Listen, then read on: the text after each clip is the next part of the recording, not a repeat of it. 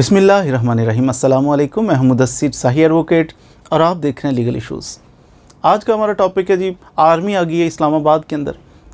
PTI का हो रहा है जनाब उधर धरना हो रहा है या लॉन्ग मार्च हो रहा है जो भी हो रहा है ये सिलसिला जारी है। आ, वो अपना एक कॉन्स्टिट्यूशनल राइट समझकर पाकिस्तान की फेवर में जनाब पाकिस्तान की आवाम की फेवर में वो एक प्रोटेस्ट कर रहे हैं। वो एक लॉन्ग मार्च जो है उन्होंने अरेंज किया हुआ है।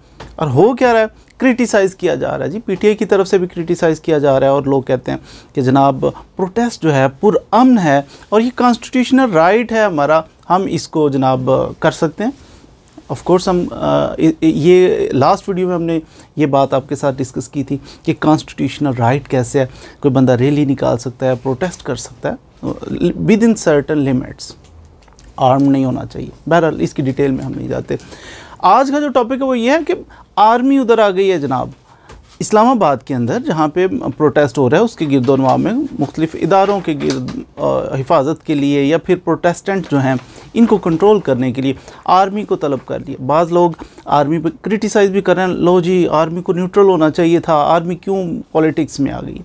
हम कानून डिस्कस करते हैं। क्या कानून में कोई ऐसी प्रोविज़न है कि आर्मी जनाब इंटरफेरेंस कर सकती है, आर्मी आ सकती है? सिर्फ़ इतनी सी बात आज हम करेंगे इन तो कानूनी बात करें तो कॉन्स्टिट्यूशन का आर्टिकल 245 245 आर्टिकल इसके अंदर लिखा हुआ है। इसके अंदर लिखा हुआ है कि जनाब अगर फेडरल गवर्नमेंट जो है, सादा ज़ुबान में हम कहें तो वज़ी अजम जो मुल्क का होता है, वो क्या कर सकता है? वो आर्मी को डायरेक्शन दे सकता है, आर्मी को बुला सकता है मदद के लिए, सिविल पावर में एड के लिए, कि सिविल पावर कोई, बैरूनी एक तो जंग का ख़दशा है, कोई धमकी मिल रही है, कुछ ऐसा सिलसिला हो रहा है, दुश्मन मुल्क की तरफ़ से हो रहा है, फिर भी वज़ी अजम कह सकता है जी, आर्मी को डायरेक्शन दे सकता है कि हमें इतनी ज़रूरत है और ये मामला या फिर दूसरी सूरत में, पाकिस्तान के अंदर अंदरूनी तौर पर वो महसूस करता है कि हमें सिविल पावर के लिए आर्मी की मदद दरकार है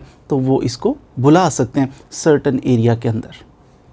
ये कानून तो आ, ये फेवर कर रहा है। ये अलहदा बात है कि हमारे अंदर ये अक्सर ये तासुर पाया जाता है कि आर्मी जो है हमारा जो भी वज़ी अजम होगा ये जो भी हुकूमतें होती हैं ये आर्मी से डरती हैं उनके उनके नीचे लग के रहती हैं। ये एक तासुर पाया जाता है। एनी हो ये डायरेक्शन पे आर्मी नहीं चलती आर्मी की डायरेक्शन पे हुकूमतें चलती हैं। ये एक तासुर है। गलत सही, इसकी हम बात नहीं करते। तो कानूनी बात 245 आर्टिकल कहता है कि अगर ज़रूरत महसूस करे वज़ी अजम फेडरल गवर्नमेंट तो ये फिर उनको तलब कर सकते हैं। वो फिर आके तो उस एरिया का कंट्रोल संभाल सकते हैं। बात तो कानूनी है, लेकिन ये पावर जब फेडरल गवर्नमेंट को आइन ने दी 245 आर्टिकल ने फेडरल गवर्नमेंट को प्राइम मिनिस्टर को, ये पावर दे दी है कि आप आर्मी को बुला सकते हैं।